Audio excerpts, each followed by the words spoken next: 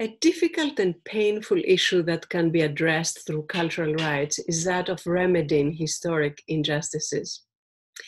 Groups claim cultural rights as collective rights vis a vis the majority society with corresponding obligations, namely rights which are necessary to preserve and develop the cultural integrity of the group, often in order to remedy historical injustices.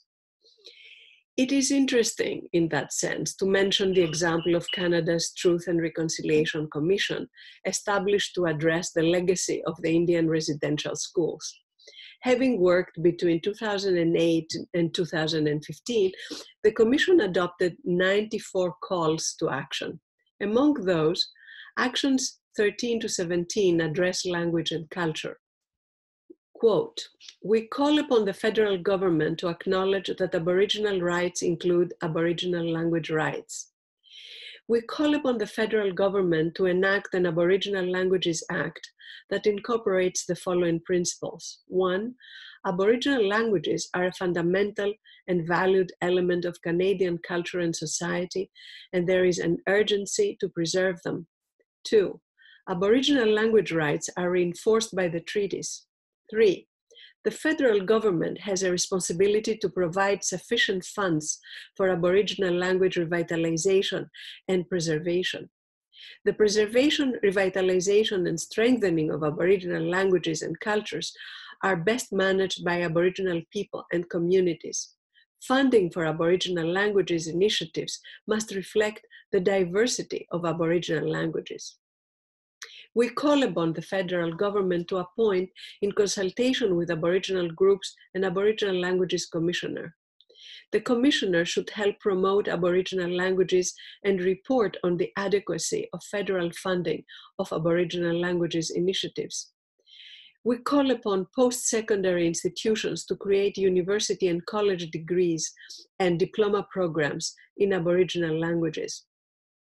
We call upon all levels of government to enable residential school survivors and their families to reclaim names changed by the residential school system by waiving administrative costs for a period of five years for the name change process and the revision of official identity documents such as birth certificates, passports, driver's licenses, health cards, status cards, and social insurance numbers. Unquote. Attention to cultural rights can have real and practical effects.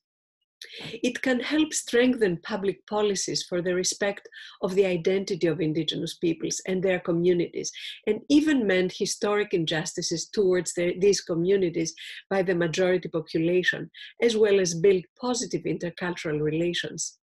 Since cultural rights impact so deeply on identities, even symbolic acts can have a significant impact in society and set the stage for more positive changes, ones that would go beyond symbolism and moral aspects of policy and also touch on material demands that some cultural rights entail, such as language rights or the continuation of a number of traditional occupations linked to land and natural resources. As a broad conclusion to any state attempts to mend historical injustices, I would like to underline that an indispensable condition for such approaches for historic remedies is the full and effective participation of the indigenous peoples concerned.